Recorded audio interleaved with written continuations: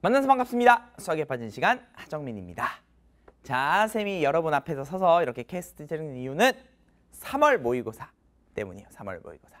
이제 우리 예비고이 학생들은 이제 1학년 때 3월 모의고사를 봐서 알겠지만 모의고사가 그렇게 쉬운 시험은 절대 아니죠. 그리고 범위가 점점점 늘어났죠. 그래서 11월에는 그치 11월에는 이제 거의 전 범위를 봤었어요. 그죠? 함수 쪽까지 봤으니까 뒤쪽에 있는 유리함수, 무리함수나 순열 조합은 안 들어갔었지만 그래도 어쨌든 거의 큰 범위를 봤었던 시험이었잖아. 어, 하다 보니까 이게 앞쪽에는 조금 쉬웠는데 모의고사가 왜 중학교 때좀 나왔었거든. 이제 중학교 때다 빠졌었죠 11월에는. 그러다 보니까 고등학교 것만 가지고 본 거는 가장 최근 11월이란 말이야. 이제는 3월 모의고사가 고등학교 1학년 전 범위로 시험을 보게 돼요. 그 소리는 뭐냐면 여러분이 얼마나 고등학교 1학년 때 개념 정리들이 잘 되어 있는지 과거에 있었던 나쁜 공부 습관들을 가지고 공부했는 건 아닌지 그런 걸 확인해 주는 시험일 거예요. 그러다 보니까 여러분 이제 중요성에 대한 이야기는 그만해도 될 것 같아요. 항상 잔소리했던 것 같아요. 모의고사가 중요합니까? 학교 시험에 안 들어가잖아요. 그런 이야기는 집어치워야죠 이제는. 근데 수능이 얼마 남지 않았어요 생각보다. 그죠?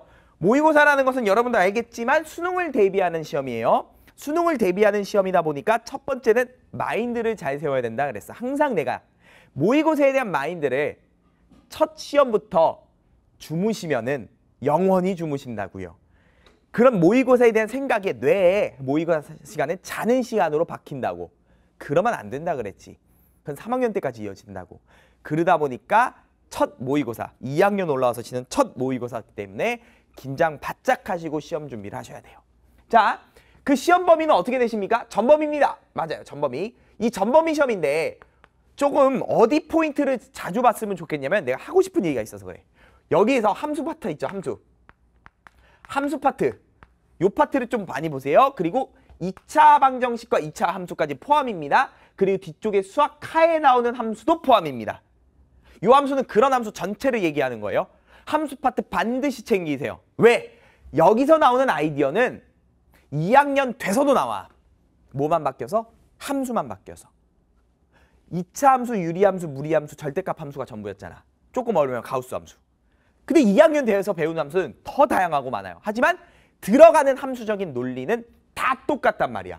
그렇기 때문에 이 시험을 대비하시면서 준비하시면서 함수 파트가 좀 안 됐다면 2차 함수 그리고 수학 하에 나오는 함수에 대한 개념들, 합성함수, 역함수에 대한 개념들, 그리고 유리함수, 무리함수 여기를 정리를 반드시 하셔야 돼요.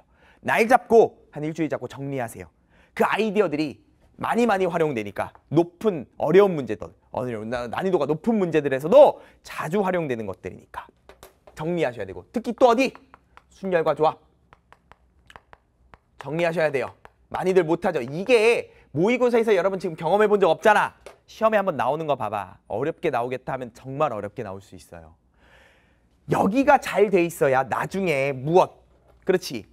이과 계열에서는 선택 안 할 수도 있어요.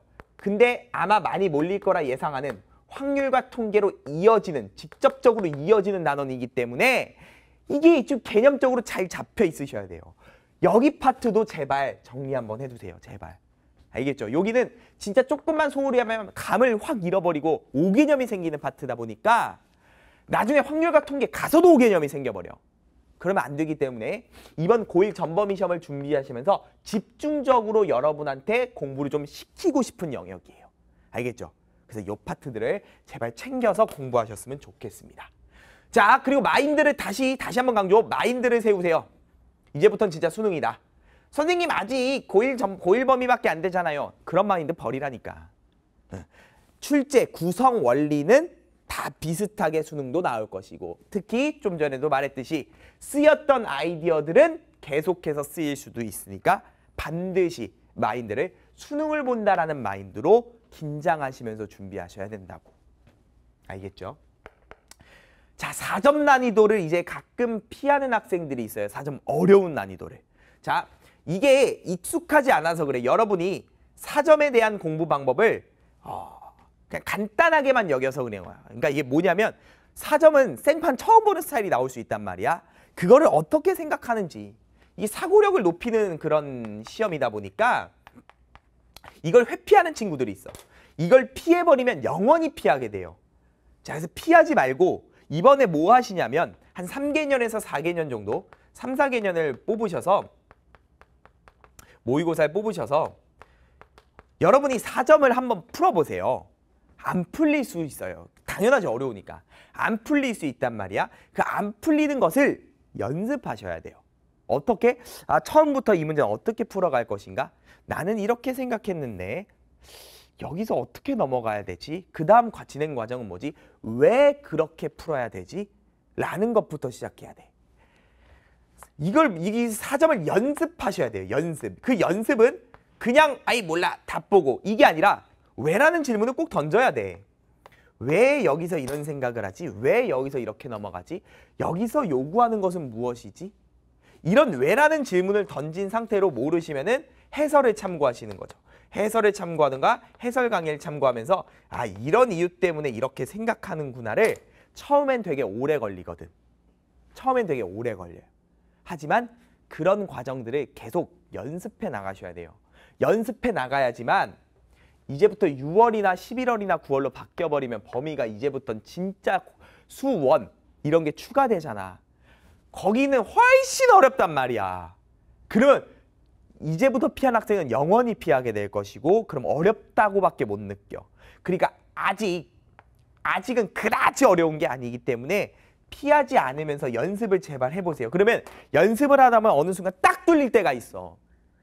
그때가 오면은 이제부터 사점에 대한 생각을 조금씩 넓혀갈 수 있단 말이에요. 그러니까 잘 이제 안 되셨던 분들은 피하셨던 분들은 제발 피하지 말고 이번 기회에 요거 뽑으셔서 한번 연습해봐요. 제발 좀 연습해봐요. 그리고 공부할 때 제발 그냥 답만 보고 하지 말고 제발 왜라는 질문 던져. 내가 왜 그렇게 생각하는가. 이런 게 쌓여야지만 결국 수능에서도 생판 처음 보는 문제가 나와도 상, 사, 생각할 수 있는 거는 사고력이 는단 말이야. 알겠죠? 학교 시험만 몰두하지 마시고 모의고사도 반드시 챙기셔야 된다는 것을 다시 한번 강조드립니다. 아시겠죠? 네, 좋습니다. 자, 그래서 여러분 캐스트는 여기까지 이제 촬영하도록 하고 여러분이 잘 준비하셔서 우리 고2 학생들 이제 얼마 남지 않았다요. 음, 얼마 남지 않았다요. 수능이 얼마 남지 않았어 생각보다 열심히 준비하셔서 우리 수능 끝까지 끝까지 가면 다 이기실 거예요. 알겠죠? 그래서 준비 열심히 하셨으면 좋겠습니다. 자, 그럼 영상은 여기서 마무리하도록 하겠습니다. 수고하셨습니다.